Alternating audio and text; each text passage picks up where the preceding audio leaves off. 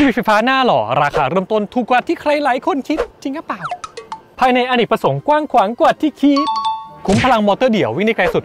665 กิโลเมตร NEDC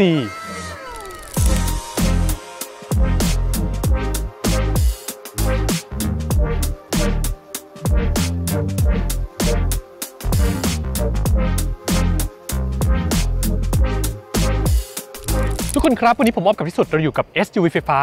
คันที่ใครหลายคนเนี่ยหมายปองอยากเป็นเจ้าของและอยากให้เราเนี่ยมาทำรีวิวนะครับเพื่อดูว่า feeling การขับขี่เป็นยังไง วันนี้เราได้โอกาสนะครับทาง Kia เนี่ยพาเราบินมาไกลถึงเชียงใหม่ขับแบบธรรมดาเนี่ยมันเบๆเกินไปฮะอันนี้มาขับขึ้นลงเขาเลย จากเชียงใหม่ข้ามมาเชียงรายผ่านพะเยา เพื่อดูว่าเจ้า EV5 เนี่ยจะเป็นยังไงบ้าง กินไฟแค่ไหนนะ feeling การขับขี่เนี่ยโอเคไหมขับขึ้นเขาแรงจะพอไหมนะฮะซึ่งเจ้าคันนี้ที่เราอยู่กับเขาเนี่ยคือเป็นรุ่น Earth Long Range พูดง่ายๆรุ่น top แบตใหญ่สุดครับ 88.1 กิโลวัตต์อาวนะ วิ่งได้ไกลสุดครับ 665 กิโลเมตร NEDC แต่พอเป็น WLTP แล้วเนี่ยจะเหลือ 540 กิโลเมตร เราจะมาดูกันครับว่าเจ้าคันนี้ขับเป็นยังไง ถ้าพร้อมแล้วไปดูกันเลยครับ ขุมพลังและแบตเตอรี่ของเจ้า Kia EV5 รุ่น Earth Long Range จะเป็นมอเตอร์เดี่ยวขับเคลื่อนล้อหน้า พละกำลังสูงสุดตามสเปคอยู่ที่ 217 แรงม้าแรงบิด 310 นิวตันเมตรทำอัตราเร่งจาก 0 ถึง 100 ได้ภายใน 8.9 วิ ช้ากว่า 2 รุ่นเริ่มต้นที่กำลังเท่ากันอยู่ 0.4 วินาที จากน้ำหนักของแบตเตอรี่ที่เพิ่มขึ้นกว่า 160 กิโลกรัม ซึ่งแบตรุ่นนี้เป็นแบต LFP ขนาด 88.1 กิโลวัตต์อาวรองรับการชาร์จเร็ว DC Fast Charge สูงสุด 141 กิโลวัตต์ ชาร์จแบตจาก 10 ถึง 80%ได้ภายใน 38 นาที รองรับ AC ชาร์จสูงสุด 11 กิโลวัตต์ ถ้าเป็นไฟ 3 เฟส Ground Clearance จะน้อยกว่ารุ่นแบตเล็กเกือบ 1 เซ็น อยู่ที่ 16.6 เซนติเมตร มาลองดูการทดสอบอัตราเร่งกันดีกว่า 3 2 1ไป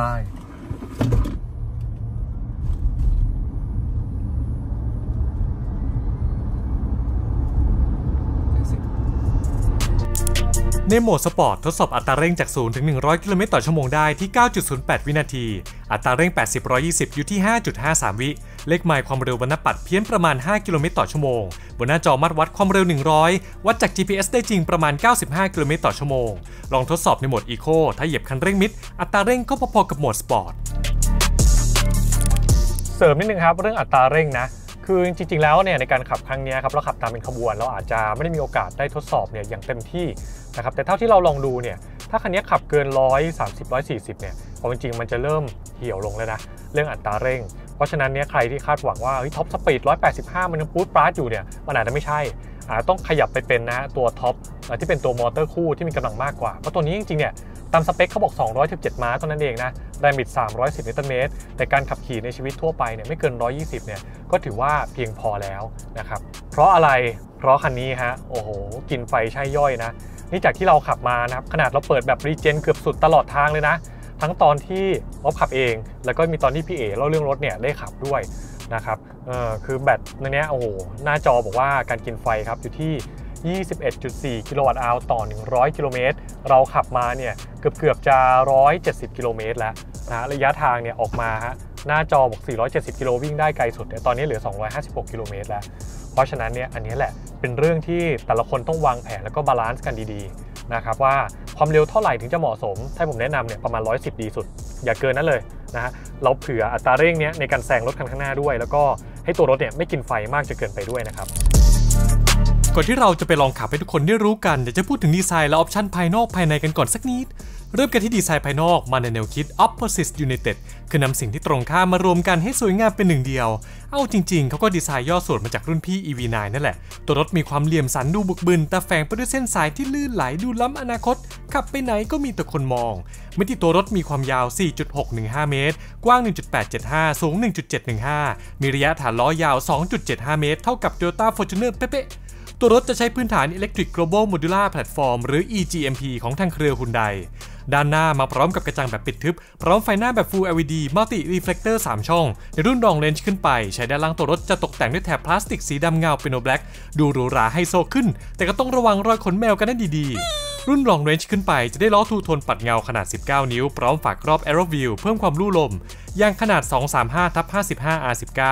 ยางที่ติดมาจะมี 2 ยี่ห้อ ระหว่าง Nexen Roadian GTX กับ Kumho Solus HS63 EV ขึ้นกับล็อตที่ผลิต มือจับประตูคันนี้เป็นแบบซ่อนด้วยไฟฟ้า จะเก็บเข้าไปเองเวลาล็อกประตูและตอนขับรถ เส้นสายด้านข้างก็เน้นความโป่งมัดกล้ามของซุ้มล้อ ตกแต่งด้วยแถบสีเงินที่ด้านล่างขอบหน้าต่างไปจนถึงท้ายรถที่ตัดด้วยแถบสีดำทำให้หลังคาดูลอยตัวสไตล์สปอร์ตด้านท้ายมาพร้อมกับไฟแบบ Full LED ดีไซน์มาในสไตล์เดียวกับไฟหน้า แต่ไฟถอยจะอยู่ตรงกลางชายกันชน ฝาท้ายบานกว้างๆ เปิดปิดด้วยไฟฟ้า พอเปิดเข้าไปแล้วจะพบกับพื้นที่เก็บสัมภาระมากถึง 513 ลิตร และเพิ่มเป็น 1,718 ลิตร เมื่อพับเบาะหลังที่พับได้แบบราบสนิท และยังมีที่เก็บของด้านหน้าอีก 67 ลิตรด้วยนะ เสียดายที่มีการอัปเดตสเปคใหม่ กักแผ่นปิดสัมภาระท้ายรถแบบอเนกประสงค์ที่กางเป็นโต๊ะได้เอาไว้ที่รุ่นท็อปรุ่นเดียว เอาจริง ๆ ภายนอกรุ่น Earth Long Range กับรุ่นท็อป All Wheel Drive นี่แทบจะไม่ต่างกันเลย ภายในเน้นความโปร่งโล่ง จอเรียงต่อกันตามแนวยาวถึง 3 จอ ทั้งจอมาตรวัด 12.3 นิ้ว จอกลางแบบสัมผัส 12.3 นิ้ว รองรับ Apple CarPlay Android Auto แบบไร้สาย พร้อม Wireless Charger และที่พิเศษคือจอระบบแอร์แบบสัมผัสขนาด 5.3 นิ้ว ตกแต่งคอนโซลด้วยวัสดุบูนุ่มรีไซเคิลนะจ๊ะ ปุ่มปรับแอร์ยังให้มาครบครบพร้อมแถบปุ่มสัมผัสเอาไว้เข้าเมนูลัดได้ไม่ต้องกดจากจอกลาง เบาะนั่งหุ้มหนังสังเคราะห์เบาะคู่หน้าปรับไฟฟ้าเบาะคนขับปรับได้ 8 ทิศทางพร้อมดันหลัง 4 ทิศทาง สามารถเมมคู่กระจกข้างได้ 2 ตำแหน่งทำงานคู่กับระบบยืนยันตัวตนด้วยลายนิ้วมือจำโปรไฟล์คนขับได้ด้วยยังกับมือถือเบาะคนขับให้ระบบอุ่นร้อนพร้อมอุ่นพวงมาลัยมาด้วย ปีหนึ่งจะได้ใช้กี่รอบกันก็ไม่รู้ ที่พิเศษคือพนักพิงศีรษะบอกคู่หน้าปรับสูงต่ำ และปรับหน้าหลังได้ 3 ระดับ หมดปัญหาเรื่องดันหัวกันได้เลย เข็มขัดนิรภัยคู่หน้าปรับระดับได้ พร้อมไฟไดหมึกตกแต่งห้องโดยสาร Ambient Light 64 สี เครื่องเสียงลำโพง 6 ตำแหน่ง เสียงดีใช้ได้ ฟังเพลินได้ทั้งคนนั่งหน้านั่งหลัง เสียงใสเสียงกลางโอเค แต่เบสบวมไปหน่อย ถ้าเปิดดังๆ อาจมีเสียงเบสแตกๆให้ได้ยินกัน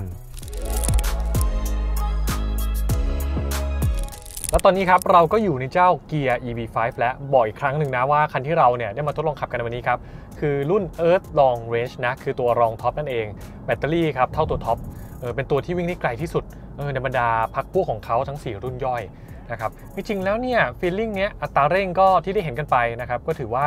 กระฉับกระเฉงเนี่ยใช้ได้ที่ประมาณหนึ่ง นะมีโหมดการขับขี่ให้เลือก 4 โหมด จะเป็น Eco Normal Sport แล้วก็ Snow โหมด Snow เนี่ยเอาไว้ขับบนพื้นลื่น มันจะพยายามรักษาทอร์กหรือว่าแรงบิดของตัวล้อเนี่ยที่ลงพื้นถนนนะครับ ให้มันแบบไม่เปลี่ยนแปลงกระทันหันไงไม่งั้นรถมันจะหมุนได้นะก็ใครใช้ขับบนถนนทางลื่นลองโหมด Snow ดูก็ได้เหมือนกันนะปกติแล้วเนี่ยเราจะขับโหมดไหนก็แล้วแต่ความชื่นชอบของแต่ละคน แต่อย่างหนึ่งที่ชอบเลยก็คือนี่เลยฮะปุ่มภายในห้องโดยสาร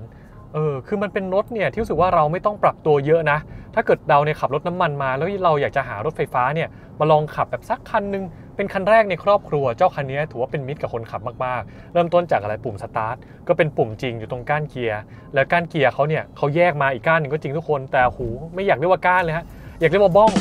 โหมาอันเบอร์เริ่มเบอร์เตอร์อย่างนี้นะฮะแล้วก็ใช้วิธีการบิดคือเป็นปุ่มจริงๆอะ เออทำให้เรารู้ว่าตอนนี้รถเนี่ยขยับเขยื้อนไปทิศทางไหน ถ้าบิดไปข้างหน้าก็เป็นเกียร์ D บิดไปข้างหลังก็เป็นเกียร์เกียร์อะไรวะ บิดไปข้างหลังก็ต้องเป็นเกียร์ถอยหลังดินะแล้วถ้ากดที่หัวเกียร์ก็จะเป็นเกียร์ P นะอันนี้ถือว่าเขาทำมาโอเค แล้วก็ปุ่มต่างๆนานาให้มาครบ ปุ่มปรับแอร์เนี่ยแอร์ dual zone ครับ คนขับ 1 โซนที่เหลือ 1 โซนนะ ปรับ temperature แยกได้มีปุ่มให้มา 2 ฝั่งเลย ปุ่มปรับความแรงพัดลมให้มา แล้วก็เหนือช่องแอร์ครับจะเป็นปุ่มระบบสัมผัส เออกดกับ Home Map Search Media Favorite Setup อย่างเงี้ยทำให้ตอนที่เราเชื่อมต่อใน Apple CarPlay ซึ่งคันนี้รองรับ Apple CarPlay Auto แบบไร้สายใช่ป่ะ เราสามารถกดปุ่ม Setup ปุ๊บ นี่เราก็เข้ามาที่หน้า Setup ได้เลย เออ อันนี้ถือว่าเขาเนี่ยทำมาโอเคเลยนะ เรื่องของการใช้งานตัวปุ่มต่างๆ นานา การไฟเลี้ยวอยู่ฝั่งขวาด้วย เออ เหมือนรถญี่ปุ่นปกติทำให้เราเนี่ยไม่ต้องปรับตัวเยอะนะ บางคนก็บ่นว่าเอ๊ะ ทำไมการไฟเลี้ยวหลายคันชอบย้ายไปไว้ฝั่งซ้ายนะรวมถึงเนี่ยแบบปัดน้ำฝนหลังก็มีมาให้ เออ แล้วก็ปุ่มบนพวงมาลัยใช้งานง่าย ได้หมด ต้องหานิดนึงนะผมหาตั้งนานเนี่ยอยู่ตรงข้างล่างครับ ของแป้นแบบแป้นแตกนะฮะเออก็แปลกนิดนึงไม่เคยเห็นคันไหนนะ เอาไดโหมดวางไว้ตรงนี้นะครับที่สำคัญคือมันมี paddle shift ด้วยเออเรียกว่า paddle shift กันไม่ถูกนัก คือเราสามารถปรับครับโหมดการ regen ของเจ้าคันนี้นะฮะคือคันนี้สามารถเลือกโหมด regenerative braking ได้ถึง 4 ระดับ 0 1 2 3 แล้วก็ไป one pedal stop นะครับก็คือเหมือนกับแบบโหมด one pedal ปกติแหละ ตัวรถจะชะลอความเร็วได้จนถึงจุดหยุดนิ่งนะ ก็ถือว่าใครที่ไม่ชอบแบบให้มันหน่วงเยอะเวียนหัวก็สามารถปรับตั้งได้ อันนี้ดี เออ นะ ก็ถือว่าเขาเนี่ยตั้งใจทำมาให้เราเนี่ยไม่ต้องปรับตัวเยอะ ทัศนวิสัยก็ถือว่าโอเคนะ ตัวเบาะก็ค่อนข้างสูงนะ อันนี้ขนาดปรับเบาะต่ำสุดนะ หัวเนี่ยก็เหลืออยู่ประมาณนึง กระจกข้างหน้าใหญ่ กระจกข้างๆใหญ่ กระจกมองข้างก็ใหญ่ แล้วมันเป็นแบบสี่เหลี่ยมคางหมูป้านออกข้างล่างเนี่ยด้านนอกด้วยทำให้เราเห็นเนี่ยมุมแบบไปถึงเลนส์3เลย สบายๆ blind spot นี่ไม่ต้องนับนี่มีมาให้อยู่แล้วนะอันนี้ก็ถือว่าที่เขาให้มานะแต่พูดนิดนึงเหอะตัวเบรกเนี่ยแม่ถ้าใครที่ใช้แป้นเบรกอย่างเดียวเนี่ยเบรกมันมีการดึงดึงนิดนึงนะเหมือนแป้นเบรกติดสปริงน้อยๆ แต่ไม่ได้เยอะขนาดนั้น ก็อาจจะต้องปรับตัวหน่อย แล้วก็เบรกเราสามารถเลือกโหมดได้ด้วยนะ เอาเบรกแบบ normal แล้วเบรกแบบสปอร์ตให้มันจับไวขึ้นอีกนิดสำหรับใครเนี่ยที่ชอบขับรถเรื่องความเร็วสูงมากยิ่งขึ้นนะครับก็เป็นแบบนี้ ส่วนเรื่องของพวงมาลัย อันนี้แหละอยากจะพูดถึงฮะพวงมาลัยกับช่วงล่างเนี้ยพวงมาลัยนี้ปรับน้ำหนักไม่ได้นะเท่าที่เราลองหาเมนูดูเลยยังหาไม่เจอนะครับมันทำงานแม่นแม่นยำดีไหมเออคมดีไหมถือว่าโอเคเลยสำหรับรถ SUV แบบนี้นะครับอยากเปลี่ยนเลนเนี่ยก็เปลี่ยนได้สบายๆนะฮะแต่ว่าพูดถึงอย่างหนึ่งเหอะ ก็คือว่าพอเวลาเราหักเลี้ยวไปเยอะๆครับแล้วพยายามหักกลับมาเนี่ยมันจะมีอาการแบบไม่ค่อยลีเนียเออเหมือนเราคาดเดามันไม่ค่อยได้นิดนึงนะฮะอันนี้แหละจะเป็นจุดที่ทำให้อยากให้ทุกคนเนี่ยไปลองขับดูก่อนว่าพวงมาลัยของเจ้าคันนี้มีปัญหาไหมโดยเฉพาะครับเส้นทางที่เราขับมาเนี่ยเราออกจากเชียงใหม่มาเนาะแล้วตอนนี้เรามาอยู่ที่กลางทางกำลังจะไปเชียงรายผ่านเส้น 120อย่างเงี้ยที่มีถนนคดเคี้ยวเยอะๆเนี่ยโอ้โหหักไปหักมาคนนั่งหลังอาจจะมีมึนนะ ถ้าไม่บังคับพวงมาลัยเนี่ยให้ดีๆ แต่ก็ยังโอเคนะ ทรงพวงมาลัยเนี่ยรู้สึกว่าเฮ้ย grip มันหนานุ่มดีแล้วก็ปรับได้สี่ทิศทาง ปรับให้เข้ากับเราได้ไม่ยาก แต่ตอน setting ทุกคนระวังดีๆนะ ระวังมันจะบังหน้าจอนะครับ คือหน้าจอเนี่ยเวลาเปิดไฟเลี้ยวครับ ตั้งแต่รุ่นรองท็อปขึ้นไปมันจะมีกล้องรอบคันมาให้แล้ว เวลาเราเปิดเลี้ยวซ้ายหรือเลี้ยวขวาเนี่ยมันจะมีกล้องครับขึ้นอยู่ที่หน้าจอด้วยนะแล้วก็พยายามปรับไม่ให้มันบังแล้วกันนะเพื่อให้เรามองเห็นข้อมูลได้ครบพวงมาลัยก็จะค่อนข้างสูงแบบนี้ อันนี้ผมปรับต่ำสุดนะที่มันไม่บังหน้าจอนะครับ สไตล์ก็เป็นแบบนี้มันมีช่องตรงนี้ด้วยสไตล์รถ Kia เนาะเหมือน Kia Carnival เลยให้เราสามารถขับท่าแบบสบายๆ ขับทางไกลชิวๆอยู่นะอีกเรื่องหนึ่งคือเรื่องของตัวช่วงล่าง โอ้โห เจ้าคันนี้ฮะจริงๆ แล้วมันเป็นรถที่ขับขี่นุ่มสบายนะ ช่วงล่างอิสระสี่ล้อเนี่ยขับผ่านแบบเส้นขี่ถนนขาวๆเนี่ยแบบเนี้ยเออก็รู้สึกว่ามันเก็บแรงได้โอเคนะรวมถึงเนี่ยเวลามันเจอทางคูขาใหญ่ๆเนี่ย มันก็มีความแบบนุ่มนวลพอสมควร จริงๆ แล้วสไตล์ช่วงล่างคันนี้มันเน้นที่สายคอมฟอร์ตเป็นหลัก สายนุ่มสบาย ขับขี่เรื่อยๆ ขับขี่ชิลๆนะฮะจะไม่มีปัญหาเลย แต่ถ้าใครครับเป็นสายบู๊สายมุดสายซิ่งเฮ้ยบางทีแอบออกอาการเหมือนกันนะโดยเฉพาะเวลาเข้าโค้งแรงๆฮะหรือว่าตอนที่พื้นถนนลื่น หรือว่าเราเบรกกระทันหันอย่างเงี้ยเออ มันก็จะมีการแบบพรึบพรึบพรึบพรึบนิดนึง ให้เรารู้สึกได้ว่าตัวรถเนี่ย มันอาจจะมีอาการอยู่บ้าง นิดหน่อยนะอันนี้ก็บอกไว้เตือนเอาไว้ใครที่ชอบขับขี่รถเร็วๆเนี่ยแล้วเป็นรถไฟฟ้าเนี่ยเราคิดว่าไว้ใจได้ลองดูก่อนนะเพราะว่าเจ้าคันนี้ต้องบอกว่ามันเก็บเสียงดีมากครับพอมันเก็บเสียงรอบคันได้เนียนกริปแบบนี้เอาจริงๆเนี่ยเราเหยียบไปถึง 120เนี่ยเสียงลมยังเบามากๆเลยนะเสียงลมข้างนอกเนี่ยมาทำให้เราเผลอขับเร็วเลยไม่รู้ตัว และยิ่งเจอโค้งกระทันหันอีกอาจจะอันตรายได้นะทุกคนเสียงลมด้านหน้าเนี่ยเริ่มได้ยินที่ความเร็วประมาณ 130 กิโลเมตรต่อชั่วโมง นะครับอะอย่างตอนนี้เดี๋ยวเราลองลองหักพวงมาลัยให้ดูนะหักนิดนึงขับความเร็วไม่เยอะ 50เนี่ยโอ้นี่ยังรู้สึกเลยนะ ตัวรถมันมีการโยกโยกโยกโยกอย่างนี้ด้วยนะเออคือมันซอฟต์มากอะเน้นความนุ่มนวลแต่ถามว่านั่งแล้วเวียนหัวไหมคนข้างหน้าเนี้ยยังไม่เวียนหัวนะยังถือว่าอยู่ในจุดที่นุ่มและเราเนี่ยยอมรับได้ แต่เดี๋ยวนั่งหลังจะเป็นยังไงเนี่ยเดี๋ยวเราไปดูกันครับ นี่ครับเราก็ย้ายมานั่งตำแหน่งที่นั่งเบาะหลังแล้วเพื่อทุกคนเห็นว่าเอ๊ะคนสูง 180 เนี่ยย้ายมานั่งเป็นยังไง ต้องบอกว่านี่ผมนั่งฝั่งซ้ายนะครับฝั่งคนนั่งข้างหน้าเนี้ยปรับตำแหน่งที่ผมนั่งและสบายค้างเอาไว้นะครับนั่งข้างหลังแล้วโอ้โหดูดิพื้นที่ช่วงขาเหลือแบบนี้ พื้นที่บนหัวเนี่ยไม่ต้องพูดถึงฮะเหลือเนี่ยเยอะกว่า 1 ฝ่ามืออีก เพราะฉะนั้นเนี่ยความกว้างไม่ใช่ปัญหาเลย อีกอย่างหนึ่งคือตัวเบาะเฮ้ยมันปรับเอนได้เยอะมากนี่ครับอันนี้ตำแหน่งตั้งชันสุดนะ ของผมเนี่ยตำแหน่งปรับเอนสุด นะครับให้เห็นว่ามันปรับได้ยังไง และปรับได้หลายระดับมากๆ วิธีการปรับคือเราดึงก้านคันโยกครับที่ข้างเบาะแล้วมันอยู่ข้างๆเบาะนะเดี๋ยวขอยัดก้มนิดนึงนี่นี่ดึงฮะเนี่ยเอาปรับไปสุดบ้าง นี่อย่างนี้ครับ ลักษณะหน้าตาจะเป็นอย่างนี้ ปรับเองได้เยอะมาก ปรับได้หลายระดับ อยากปรับแบบไหนเนี่ยล็อกได้หมดเลย ดูดิว่ามันล็อกได้เยอะมากๆนะครับและอีกอย่างหนึ่งคือเบาะรองนั่งของคันนี้มันปรับองศาเนี่ยตามการเอนของพนักพิงด้านหลังด้วย เออ มันเลยทำให้นั่งแล้วมันสบายดูดิครับ ผมนั่งเลยปะ ขาไม่ลอย ยืดขานิดนึงอะโอเคเลย แล้วความยาวของเบาะรองนั่งถือว่าใช้ได้เลยนะ อันนี้ประมาณแบบหนึ่งฝ่ามือจะถึงข้อพับ ซึ่งถือว่าโอเค โดยเฉพาะเบอกคู่หน้านี่ต้องพูดถึงเกือบถึงข้อพับผมแล้วทีเดียว ก็ถือว่าใช้ได้เลย ถามว่าเข็มขัดคันนี้ครับแจ้งเตือนมีไหมมีนะด้านหลังนะครับ แต่คือถ้าเราไม่คาดตั้งแต่แรกอะมันจะไม่เตือนอ่าแต่ถ้าเราเสียบปุ๊บนี่ครับแล้วเราดึงออก นี่มันจะดังเลย แต่เสียงดังมันน่ารักน่ารัก ดังนิดเดียวนะอะเราคาดไว้ดีกว่า เพื่อความปลอดภัยนะครับ มันจะขึ้นเตือนที่หน้าจอทุกตำแหน่งเลยของเจ้าคันนี้นะครับ แล้วพอมันเป็นรุ่น long range ขึ้นไปเนี่ยมันจะมีการเปลี่ยนวัสดุภายในใหม่นะ ให้มันเป็นบอร์ดหนังสังเคราะห์ทั้งหมดนะครับ feeling นะเอาจริง ๆ ถ้าเทียบกับรุ่นพี่ EV9 อะใครไปดูคันนั้นแล้วมาดูคันนี้มันเทียบกันไม่ได้เลยนะเพราะว่าดูจากราคาก็รู้แล้วต่างกันเนี่ยมากกว่า 2 เท่าตัวนะครับคันนี้เองเนี่ยถ้าถามว่าเทียบกับรถราคาระดับเดียวกันเนี่ยโอเคไหมถือว่าโอเคนะ หนังมันมีความหนาหนา นะแต่ว่าบน texture เนี้ยมันไม่ค่อยมีลายหนังเท่าไหร่ มันเหมือนเป็นลายเรียบๆมากกว่า แตกต่างจากตรงนี้ครับแผงข้างเนาะซึ่งไอ้ตรงที่วางแขนตรงเนี้ยพอวางลงไปปุ๊บเฮ้ยมันมีความนุ่ม แล้วมันมี texture ลวดลายเป็นหนังมากกว่า จริงๆ ถ้าเอาวัสดุตรงเนี้ยมาใช้บนเบาะด้วย เยี่ยมเลยจะให้ feeling ดีขึ้นนะครับถ้าถามว่ามันดูหรูหราไหมเอาจริงๆเนี่ยมันไม่ได้หรูหราขนาดนั้นนะเออถ้าว่ากันตามตรงครับ ลองดูวัสดุเห็นปะแข็งนะฮะต้องเป็นท่อนนี้นะถึงเป็นบุนุ่มข้างล่างก็แข็ง เออแล้วก็ตัวนี้เองเนี่ยมันแมทคู่กับสีภายนอกนะครับ มันจะได้เป็นสี nugget brown นะไม่ใช่ nugget brown nugget brown นะอันนี้เป็น nugget brown ฮะเป็นสีของเขาที่ทำให้ดูหรูหราไฮโซขึ้น ก็จะแมทคู่กับสีภายนอกใครชอบก็ต้องเลือกแมทคู่กันดีๆส่วนตัวชอบสีนี้มากกว่าเออรู้สึกมันมีความหรูหรามากกว่าจริงๆนะแต่คุณภาพการตัดเย็บครับลองดูดิใต้ตะเข็บเนี่ยได้ตะเข็บหลังเบาะครับ ข้างหน้าเนี่ยเอ้ยมันมีความแบบเออมันไม่เนี้ยบไม่เนี้ยบนะ อีกนิดนึงอะอีกนิดนึงมันก็จะดีมากกว่านี้นะฮะโอ้ดูของที่เขาให้มาผ้าหลังคาบุเนี่ยโอเค มือจับก็ให้มาครบนะครับ ambient light ก็มีนะ แต่แบบจางๆจางๆกลางวันเนี่ยมันจะไม่ได้สว่างขนาดนั้น แต่ปรับเลือกสีได้หลายอันอยู่นะ มีแถบตรงนี้นิดๆแต่ถ้าด้านหน้าเนี่ยมันจะโค้งครับรับเกือบทั้งคอนโซลหน้าเลย คล้าย Tesla Model 3 รุ่นปรับโฉมใหม่เลยแบบนั้นนะ แต่ว่าจะเว้าออกไปครับ ตรงฝั่งคนขับนิดนึง เอาจริงๆเขาเว้าในรุ่นท็อปนั่นแหละ รุ่นท็อปตรงนั้นมันเป็น head up display ไงแต่รุ่นนี้ไม่มีมันก็เลยไม่มีไฟ ambient light เนี่ยมาประกบอยู่นะแอร์หลังคันนี้มีมาให้แต่ประหลาดนิดนึงมันอยู่ตรงเสาครับสองข้างซ้ายขวาลมแอร์เอื่อยๆใครคาดหวังว่าลมมันจะแรงแบบตีหน้าแบบอย่างนี้ฮะไม่ได้เป็นอย่างนั้นเลย แล้วถามว่าฉ่ำไหมครับแม่ตอนนี้เปิด 22 อยู่ ลมแอร์ 3 ขีดเนี่ยยังไม่ค่อยฉ่ำเท่าไหร่ นะครับเป็น character ของเขาโอ้แต่คันนี้ไม่ได้ติดฟิล์มนะ ต้องบอกอย่างนี้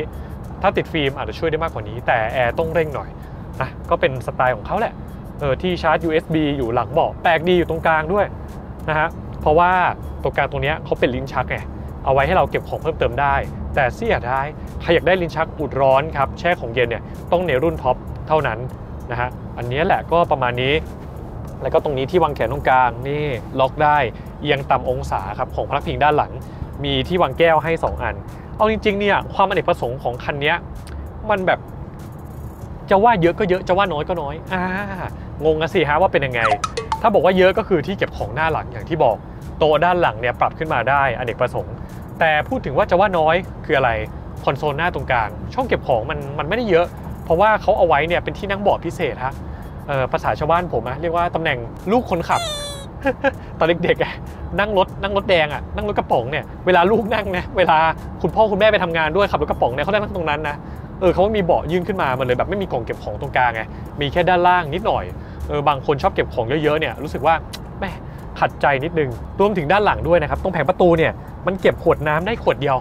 แล้วไม่ค่อยกว้างมาก แก้วนี่ก็ต้องวางตรงกลาง และตรงเนี้ยหลุมมันค่อนข้างตื้น ถ้าใครวางแก้วใหญ่มีสิทธิ์นะฮะ คนขับพ่อบ้านขับซิ่งเนี่ยโอ้โหหกกระจายนะฮะสาดกระเซ็นเนี่ยเต็มรถไปหมดนะฮะอันนี้เป็นจุดที่ต้องระมัดระวังดีๆ แต่เขาก็มีการใส่ detail เล็กๆน้อยๆนะตามสไตล์ค่ายรถเกาหลี ที่เขาทำได้เรียกว่าแบบใกล้เคียงญี่ปุ่นอะมีความแบบมินิมอลของเขาเหมือนกันนะครับอย่างเช่นเนี่ยตรงประตูหลังเห็นปะมีตะขอเนี่ยแขวนแขวนถุงแกงแขวนนู่นแขวนนี่เนี่ยให้มาด้วยคอนโซลหน้าก็มีครับฝั่งคนขับในใกล้ๆใต้ช่องแอร์ก็มีที่แขวนอยู่นะฮะหรือว่ารวมถึงแบบจุดกระจุกกระจิกเล็กๆน้อยๆเนี่ย เออเขาก็ทำมาแบบน่ารักน่ารักดีนะ อันนี้ก็เป็นแบบเก็ดเล็กเก็ดน้อยของเขานะ ถ้าถามว่าเสียงด้านหลังเนี่ยกับความนุ่มนวลเนี่ยเป็นยังไงบ้าง เอาเรื่องเสียงก่อน เสียงอย่างแรกเลยถือว่าใช้ได้นะฮะ มันอาจจะดังกว่าด้านหน้านิดนึง เสียงที่จะเข้ามาเพิ่มเติมมากกว่าตอนนั้นตอนหน้าคือเสียงลมจากทางข้างหลังครับตรงประตูท้าย รวมถึงเสียงยางรถจากซุ้มล้อหลัง โดยเฉพาะครับเวลาขับผ่านทางขรุขระเนี่ยมีเสียงช่วงล่างกึกกึกกึกกึกเป็นเสียงโทนทุ้มต่ำนะ เสียงความถี่ต่ำเนี้ยมันจะมีเด็ดรอดเข้ามาให้เราเนี่ยได้ยินกันอยู่บ้าง แต่เสียงลมเนี่ยเฮ้ยเก็บโอเคเลยคุณผู้ชม ถือว่าเป็นรถที่ทำได้ดีคันหนึ่งนะนี่ขนาดเปิดหลังคาอยู่นะ เสียงลมจากหลังคาข้างบนเนี่ยก็ไม่ค่อยมีให้คนข้างหลังเนี่ยได้ยินกัน ส่วนช่วงล่างนะครับต้องบอกว่ามันแข็งกว่าด้านหน้าแน่ๆเพราะเขาเนี่ยเผื่อการบรรทุกของด้านหลัง อย่างตอนนี้ถ้าเราลองผ่านคอสะพานนะอันนี้ลองดูรถสะพานใหญ่เฮ้ยมันเก็บดี แต่พอเวลาผ่านทางขรุขระเล็กๆครับหลุมบ่อเนี่ยที่มันแบบ เป็นหลุมเล็ก ๆ อย่างเงี้ยรู้สึกได้เลยว่ามีแรงสะเทือนเข้ามาในห้องโดยสารให้คนนั่งหลังได้รู้สึกอยู่บ้าง แต่ถ้าถามว่าโอเคไหมยังโอเคอยู่นะ คนนั่งหลังยังสบายสบายอยู่ แต่ว่าเวลาคนขับเนี่ยหักพวงมาลัยเร็วๆอะเอาจริงคนนั่งหลังเนี่ยมีมึนๆหัวได้เหมือนกันนะเออมันจะเกี่ยวเนื่องกับเรื่องพวงมาลัยกับช่วงล่างที่เราบอกไปก่อนหน้านี้นะตอนเรานั่งอยู่ตรงคนขับ ซึ่งตอนนี้เราได้พี่เอ๋ฮะช่วยขับให้นะเออพี่เอ๋เล่าเรื่องรถนะฮะออยู่ตรงนั้นนะฮะโบกพี่เอ๋โบกมืออยู่แต่ไม่เห็นหรอกนะฮะเดี๋ยวเราใส่อินเสิร์ตพี่เอ๋อยู่ตรงนี้นี่ นะครับผมถ้าขับรถไม่ดีไม่ต้องว่าผมนะเพราะตอนนี้ผมไม่ได้ขับอยู่นะฮะก็จะเป็นอารมณ์สไตล์ประมาณแบบนี้ โดยรวมถามว่าข้างหลังกว้างไหมเอาจริงก็กว้างใช้ได้พื้นที่ช่วงขางที่บอกนะตรงกลางพื้นเรียบสนิท ตรงกลางไม่มีอุโมงค์แพลตฟอร์มรถไฟฟ้าแต่แต่เจ้านะฮะให้เหมาะกับที่เราภาคเหนือเขาพูดเจ้าหน่อย แต่ความกว้างตัวรถซ้ายถึงขวา ต้องยอมรับว่ามันอาจจะไม่ได้เท่าดีพอ S07 หลายคนจะไปเทียบกัน S07 คันนั้นเนี่ยฐานล้อเขาก็ยาวกว่า พื้นที่ช่วงขาเหลือเยอะกว่า แล้วระยะจากซ้ายถึงขวาครับของ S07 เนี่ยก็เยอะกว่าด้วยทำให้ตำแหน่งคนนั่งกลางเนี่ยอาจจะสบายกว่าอะเดี๋ยวเราลองไปนั่งกลางดูนะฮะว่าคันนี้นั่งแล้วเป็นยังไงบ้างอขออนุญาตถอดเข็มขัดแวบหนึ่งนะอะลองไปนั่งดูด้านหลังเอาจริงๆเนี่ยตรงขาเนี่ยนั่งสบายใช้ได้อยู่นะเออคือพื้นที่ขามันก็ยังไม่ชนกับคอนโซลตรงกลาง แต่ด้านหลังเนี่ยโหแข็งปักเลยเออต้องให้เด็กๆนั่งหรือไม่งั้นต้องเอาเบาะมาลองหรือเปล่า หรือไม่งั้นต้องเป็นคนที่ชอบนั่งครับเก้าอี้แข็งๆอะอาจจะรู้สึกโอเคแฮปปี้นะอันนี้ก็คือเป็นข้อสังเกตนะแต่ก็ยังดีนะได้ความโปร่งของ panoramic ครับซันรูฟเปิดได้เปิดได้เยอะมากด้วยนะครับเวลาไป camping เลยก็นอนดูดาวได้ทั้งครอบครัวเนี่ยดูดาวกับคนรู้ใจได้โรแมนติกแบบนี้เลยนะและแถมเบาะหลักเนี่ยยังพับได้ราบสนิทแหมคันนี้เนี่ยเหมาะกับการทำกิจกรรมอเนกประสงค์นะครับอย่างมากที่สุดเลย รวมถึงข้างหน้านี้ตำแหน่งเบาะนั่งลูกคนขับเนี่ย นึกไม่ออกเลยนะฮะว่าเขาจะไปทำอะไรได้บ้างนะ สรุปจุดเด่นจุดที่คุณปรับปรุง จุดเด่นอย่างแรก ดีไซน์หล่อถูกใจใครหลายคน ดูหล่อล้ำแบบมาตร SUV ผู้ดี ภายในกว้างขวางอเนกประสงค์ขั้นสุด คนนั่งหลังก็สบายที่จุของหน้าหลังก็จัดเต็ม และวารันตีตัวรถยาวๆหายห่วง ตัวรถรับประกัน 7 ปีหรือ 150,000 กิโลเมตร แบตเตอรี่ High Voltage รับประกัน 8 ปีหรือ 160,000 กิโลเมตร และฟรีบริการช่วยเหลือฉุกเฉินนานถึง 7 ปีเลยทีเดียว ส่วนจุดที่คุณปรับปรุงอย่างแรก ช่วงล่างและพวงมาลัยไม่เหมาะกับสายซิ่ง ขับเร็วๆ แล้วเจอคอสะพานจังหวะเข้าโค้งมีท้ายปัดคนนั่งหลังยังเหวอแอร์ภายในรถไม่ค่อยฉ่ำต้องปรับอุณหภูมิ 21 องศาถึงจะเย็น และไม่มีระบบ telematics ไม่สามารถเชื่อมต่อแอปพลิเคชันบนโทรศัพท์บนรถไม่มีช่องใส่ซิมมาให้ ไม่สามารถเช็คสถานะ หรือสั่งการตัวรถจากระยะไกลได้ Kia EV5 ที่ขายในไทยตอนนี้นำเข้ามาจากจีน ส่งออกมาขายที่บ้านเราเป็นประเทศแรก ด้วยราคาค่าตัวที่ 1 5 9 9 0 0 0 บาท ในรุ่น Earth Long Range ได้ option ระบบความปลอดภัยเท่ารุ่น top ถ้าใครไม่ต้องการอัตราเร่งแบบบู๊ล้างผลาญเบาะคนขับแบบ VIP พร้อมระบบนวด และ option อื่นๆ อีกนิดหน่อย ก็ประหยัดไปได้ถึง 200,000 บาท และได้ระยะทางวิ่งที่เพิ่มขึ้นอีกพอสมควรด้วยนะและนี่ครับ Kia EV5 เนี่ยเขาตั้งใจทำมาเพื่อโฟกัสกลุ่มลูกค้านะครับที่เน้นแบบไลฟ์สไตล์การท่องเที่ยวเป็นหลัก SUV นะครับ คนมีครอบครัวเอามา camping ในวันหยุดแบบนี้ได้ชิลๆสบายๆ และตัวรถคันนี้ยังรองรับครับการเชื่อมต่อ V2L นะจ่ายไฟให้กับภายนอก ทั้งพอร์ตช่องชาร์จครับ แล้วก็ช่องปลั๊กนะที่ด้านท้ายของตัวรถออกได้สูงสุด 2,200 วัตต์ด้วยนะ ถือว่าไม่ธรรมดาจริงๆนะครับและทั้งหมดนี้ครับคือที่สุดพาทุกคนเนี่ยมารีวิวเจ้าคันนี้ครับ Gear EV5 กันแบบเบื้องต้นก่อนนะเวลาเราอาจจะมีน้อยนะครับแต่เขาเนี่ยพาเรามาเทสนะขับจากเชียงใหม่มาถึงเชียงราย ลองขับดูครับขึ้นเขาขึ้นภูอย่างเงี้ยมันจะเร่งขึ้นไหวไหมนะครับใครมีคอมเมนต์อยากรู้เรื่องอะไรก็มาคอมเมนต์บอกเราก็ได้ใต้คลิปนี้เลยครับ และก็ใครชื่นชอบคลิปแบบนี้ ฝากกดไลค์กดแชร์กดติดตามเป็นใจพวกเราด้วย วันนี้ผมออฟขอลาไปก่อน สวัสดีครับบ๊ายบายแม่งไปทำกิจกรรมมาเด็กประสงค์ก่อนนะ